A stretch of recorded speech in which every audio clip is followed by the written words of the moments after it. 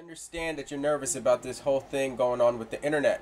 There's a lot of changes going on in the world right now, and you're trying to figure out how you can stay ahead of the curve with your business. I get it, but at the same time, there are solutions. Hi, my name is Simon.